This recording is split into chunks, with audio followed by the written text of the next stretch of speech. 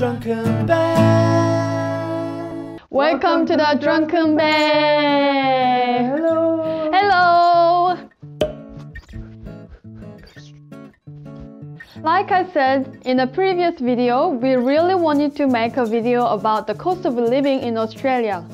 So um, the cost of living is important um, because we're going around all the time buying food. So we thought this is a good way for people to see exactly um, how much things cost in regards to um, the Australian cost of living. So that way you could kind of compare it with the cost of living in your country. So let me explain it first. So we divide it by a few sections. First one is rent. That's probably everyone in the world's biggest expense rent. Paying rent. Ah, not yours. Sito, you're lucky you don't pay anything. You don't work, you don't do anything. But that seems too harsh. My, my ring finger is hitting his nose. No. But I must say this video has more information of Melbourne. The cost of living can be higher in Sydney and it can be a bit lower in Brisbane. So it really depends on where you live. Rents can vary um, depending on the way that you decide to live. So obviously you can live in a couple, you can live by yourself, you can live in a share house, which is very common here in Australia. Um, so you're looking at somewhere between about 130 a week to about 250 a week. So if you want to live in like a one bedroom house somewhere kind of um, not in the CBD but kind of just outside the CBD, so you're looking somewhere between 1,100 to 1,400, 1,500 um, a month. Um, in the actual city, in the CBD, you're looking at more 1,600 and above. You can um, pay a, a lot for a very small little box of an apartment. It is very pricey. But having said that, you can enjoy the most benefits of living in the CBD. So uh, you'd have convenience stores just right below your apartment and you can go to any pubs and stay as long as you want. You don't need to worry about how you come back to home, something like that. Transport costs, um, it's actually quite high in Melbourne. So it's $7.80 at the moment for a Myki full fare. By the way, Myki is a kind of transport card in Melbourne you must have and you can just uh, tap on some money in it and then you can use it whenever you need to. Um, the other thing is that there are options to do weekly, monthly, yearly. So obviously the more um, ahead that you buy, um, the more that you save in money. Yeah. And if you are a concession card holder, so if you're someone from um, another city in Australia, if you if you're a permanent resident and you do hold a, a healthcare card, um, then there'll also be discount. Okay, next one is food, mm, which is very important for It's the us. most important. When you eat out, um, well, you'd have lots of choices as Melbourne has so many multicultural restaurants.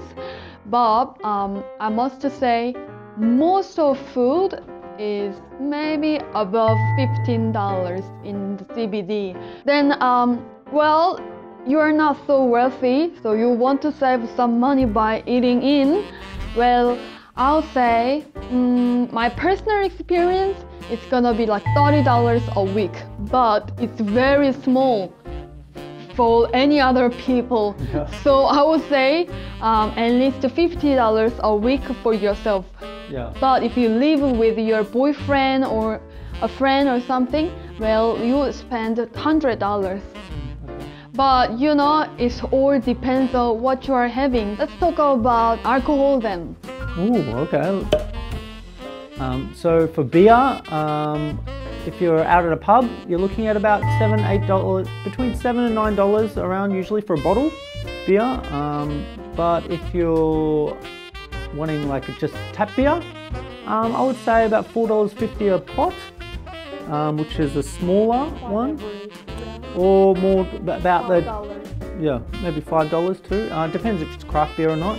Um, and more in the $10 region for a pint. a bottle of beer or any drinks from the bottle shop which has lots of um, alcohol um, you know, you can get a beer maybe three dollars fifty, something like that for a can. Yeah.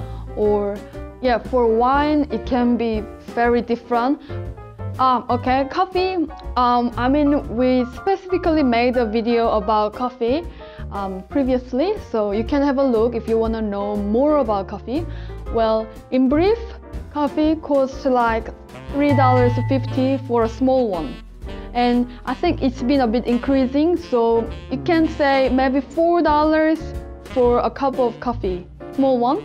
But the middle one, maybe $4 or something or can be 450. Yeah. But if you are a coffee snob, look at this. Coffee snob or coffee pig? coffee snob, coffee snob. Then you will add your decaf and you will add Your your almond milk. almond milk, caramel syrup. You wouldn't be surprised the coffee costs ten dollars. That's true. I wonder how much you could get actually to do the most expensive coffee and just do all the adding. All the adding fifty We have to- cent, a dollar. Yeah, we have to do that one time. That'd be Oh. funny to try to do that. Um, yeah, so that's pretty much coffee covered. Okay, so coffee's done. So you've got food, you've got a house. But how do you get all of this money? So this is the part that you've been looking for maybe the most. Okay, so let's talk about salary in Yeah, Australia. so salary, wage, um, just how you earn your money in Australia. I mean, if you are travelers, you might probably wonder what you can do in Australia and what, how much you get paid. I mean, um, not all of them, but many travelers work in a cafe or in restaurant, in a pub, and you know, but they usually get paid um, more than the minimum wage, which is close to $17, or it can be way below if the place is a bit dodgy. Yeah, so even if you're on like um, 14 $15 an hour, if you do add that up, you get enough to um, get by, I think, in Melbourne. So, as a foreigner um, or as a traveller, um, don't panic. So, if you um, happen to be lucky and um, you land a job that's more kind of office work, um, like um, admin kind of work, so um, entry level office work, that kind of thing, um, or even warehousing too, um, forklift jobs and stuff like that, you're more looking at the, um, starting more at $20 an hour and between 20 and even $30 an hour, that kind of bracket. Um, okay, so for everything that we've talked about, we'd like to um, give you guys some tips, I guess, on how to save as much as you can when you do come down here. Yes. And um, one way of doing that is downloading the right apps on your phone. There's a lot of free apps um, which have um, the, the happy hours, so where you can get the cheapest drinks, where you can get uh, the cheapest food. And also, um, for the transport, you might want to download PTV, which is for uh, overall um, Melbourne transport. Another app is called Tram Tracker, which can help you um, the timetable of trams. So you can check it out if the tram is coming soon or not. Uh, okay, so all these apps, um, ones we've talked about and just other ones, we'll make sure to put in the description below. It has been the cost of living. We really wanted to talk about more details of, um, you know, some certain things, but you know, we couldn't contain all the information um, about the cost in Australia. But feel free to comment anything specific. Um, if you'd like to ask to us, if we know it, we can give an answer for you. The information that we got for the cost of living from our own personal experiences, but also it's actually from a website. And um, we'll put that website in the description so you can know. Okay, so thank you for watching this video and comment any questions and like and subscribe. Subscribe. And also, um, make sure to follow us on um, Instagram, on Twitter. We're starting to put up um, some original content on Facebook too, which isn't um, content that you'll see on YouTube. So just more um, smaller, sillier videos um, that are just quick to edit.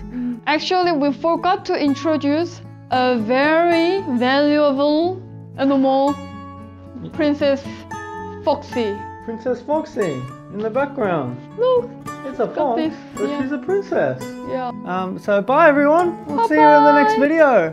Bye. Bye.